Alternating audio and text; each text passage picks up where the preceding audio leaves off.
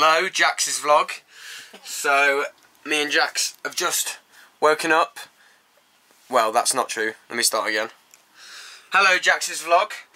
Uh, it is, what's the date today? Uh, Thursday. It's Thursday today. Um, we're very excited. We're at this bloody lovely place. Um, and we're planning out what we're doing for the day. Jax is getting some editing done. I'm doing a little bit of editing as well. And then we're going to start the day. They've got wicked coffee here in in Joshua Tree. Um, and this incredible, it's like a movie set out here. It's like a bit dystopian, doesn't really feel real.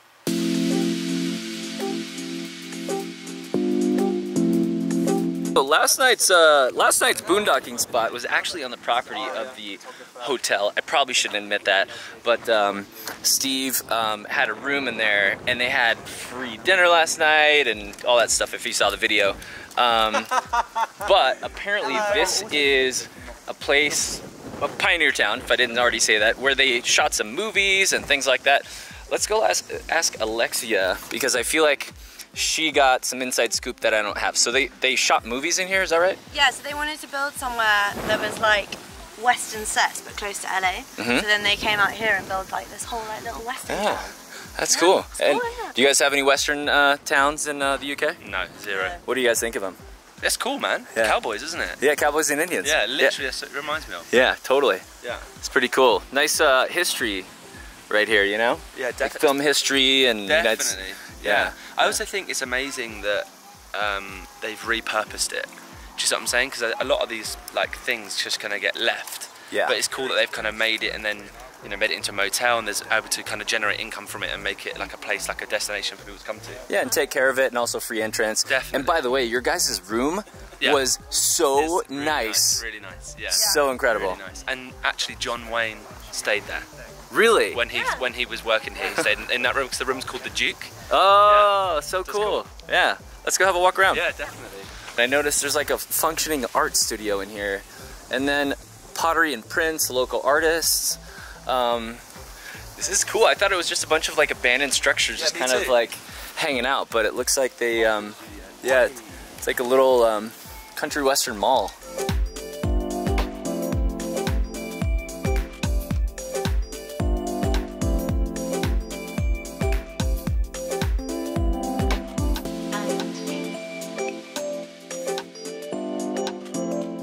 So I really can't tell what is exactly a real store. That's a real store over there. Has an open sign. It's kind of hard to tell um, what's an actual store and what's kind of like a proper movie set over here. Um, but it's pretty cool. It's the first time I've seen it. And I've been out to Joshua Tree, I don't know, a dozen times. So definitely glad I stopped by. You should come here too. We just drove to lunch, and by drive I mean we moved like 20 feet over here. Apparently this is the spot. It's got like 900, 900 reviews, 4.5 stars. We're all hungry, so we're gonna smash something tasty.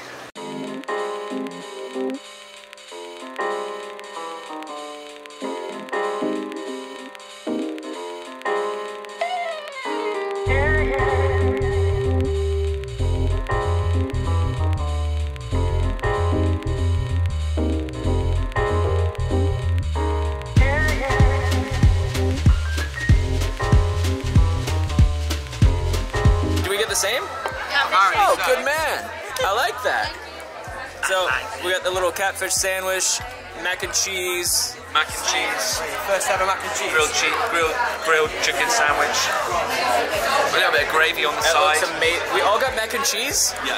That's outstanding. Look at that. How is it? Serious. What did you get, Alexia? Tex-Mex bowl.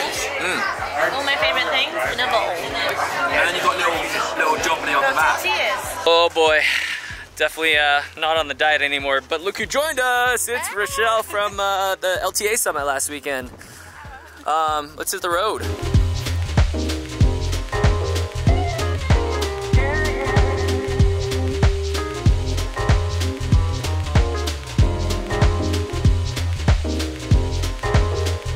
We're here. This is the next stop. It is the Noah Purifoy Outdoor Desert Museum. Um, it reminds me a little bit of East Jesus, uh, where somebody just took things that would be normally kind of thrown away. This looks intentional. I don't know if you'd really throw away like a catamaran.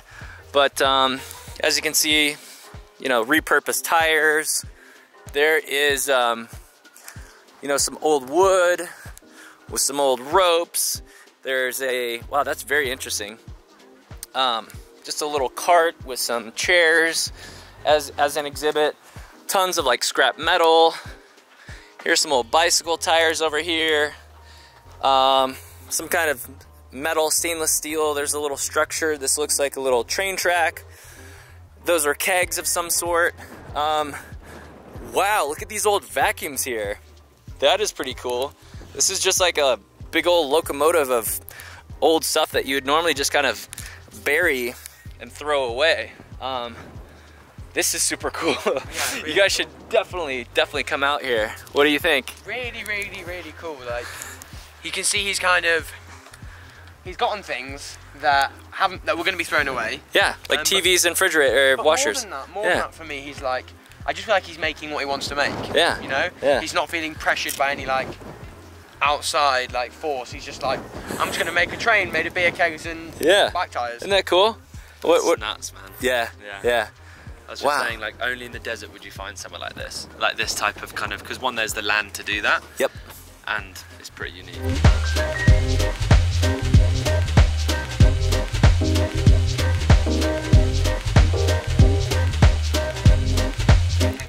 Wow. This is cool, right? Whoa. This is crazy. This this place is almost a little overwhelming for me. Yeah. Yeah. I keep wanting, I keep There's- waiting to like see someone like pop out there. Who's I know, like someone just here. in the bed here. Yeah. Yeah. You know what I mean? This is I mean, I feel like I'm intruding in someone's like living space here, you know what I mean? Like the washing Like and stuff. yeah, like in the midst of like doing laundry. It's so And crazy. also like how we're all chatting to each other with cameras pointing at each other. Yeah, we're fully immersed in the experience. Yes, this place is the definition of one man's trash is another man's treasure. It is just filled with all kind, filled with all kinds of oddities, weird things, and um, this is by far the most impressive, um, like, I don't know, garbage art museum that I've ever seen. I kid you not, Steve has been in the bus for maybe less than a half an hour total. And what are you doing right now? I'm just I'm actually on Auto Trader, which is a website back home.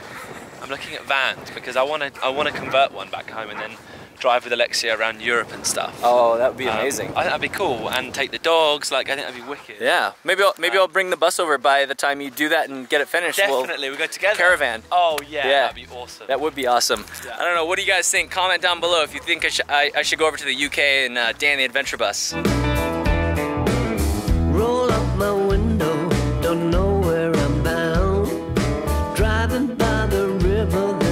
So just like I was saying at the uh, LTA summit, if there's something that you're really passionate about, you should just do it, regardless of the fact that you get paid or not. And I feel like if you're an artist, you could totally move to the desert and do something totally bananas and bizarre artistically, and um, and live a life that you dream of.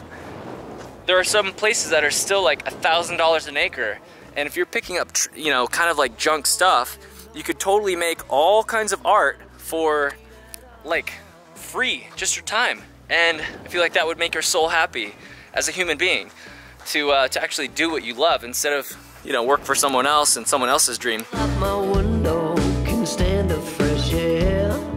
So far from the city, couldn't eat. Uh, that says colored if you can't read that because of the exposure. Obviously toilet, and then white, and you have a drinking fountain.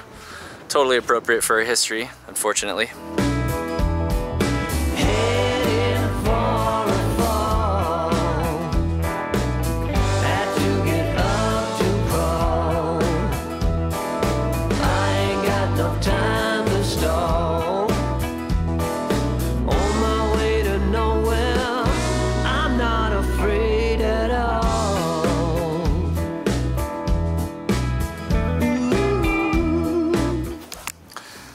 Just like that, we are back at Joshua Tree, and uh, looks like Aria has climbed up this giant rock up there. How's the weather up there?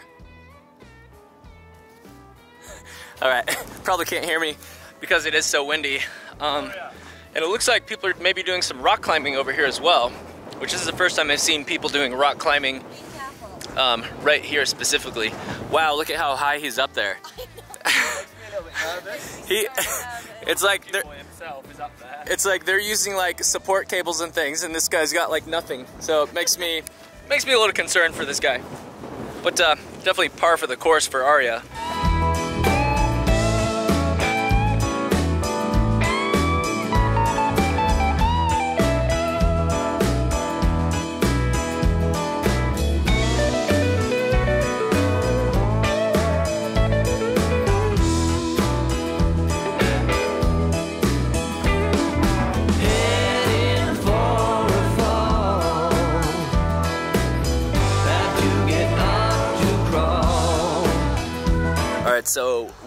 Bus parked right here. Ari is inside editing uh, Louis, Fun for Louis uh, stuff. Um, the guys are across the street, uh, Alexia and uh, Steve. So I think we're gonna go get like, I don't know, a little, little snack or something. And then after that, jump in the pool. This place, another, they're good at finding places. The place they have is some boutique hotel across the street and the pool looks amazing. Uh, what did we order? Uh, the world's biggest pizza. Amazing. So we are now at a um, Bill's Pizza, Palm Springs. I'm gonna put this down and I'll put this right here.